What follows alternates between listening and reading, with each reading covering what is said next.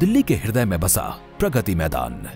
दशकों से रहा है राष्ट्र की प्रगति के प्रदर्शन का प्रतीक। विकास की नित नई बुलंदियों को छूते देश की आवश्यकता के अनुरूप, प्रगति मैदान के इंफ्रास्ट्रक्चर को आधुनिक और भविष्योन्मुखी बनाने की लगातार महसूस की जा रही थी ज़रूरत। देश की राजधानी बने देशवासियों की आकांक्षाओं, देश के संकल्प और देश के सामर्थ्य का भव्य प्रतीक। इसी सोच के साथ प्रधानमंत्री नरेंद्र मोदी जी के यशस्वी नेतृत्व में दिल्ली में विश्व स्तरीय इंफ्रास्ट्रक्चर की दिशा में पिछले कुछ वर्षों में समग्र और सतत प्रयास किए गए हैं।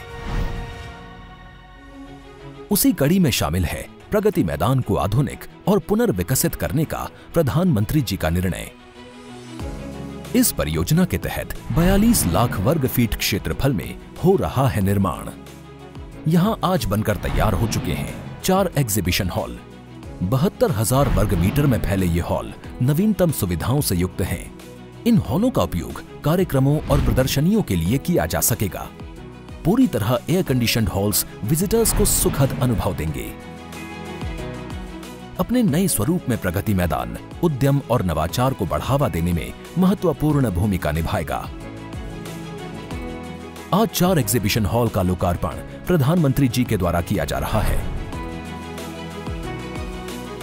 प्रगति मैदान के पुनर्विकास का एक अहम भाग है अत्याधुनिक अंतर्राष्ट्रीय सह सम्मेलन केंद्र, यानी आईईसीसी इसका मुख्य आकर्षण है कन्वेंशन सेंटर जो है स्थानीय आर्किटेक्चर और आधुनिकता का अनूठा संगम।